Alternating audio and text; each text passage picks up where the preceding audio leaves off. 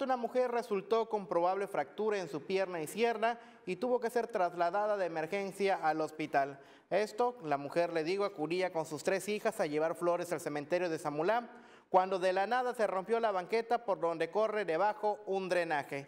La víctima fue auxiliada de inmediato por los testigos, quienes solicitaron el apoyo de los paramédicos, pues se quejaba de fuertes dolores y no podía levantarse del suelo.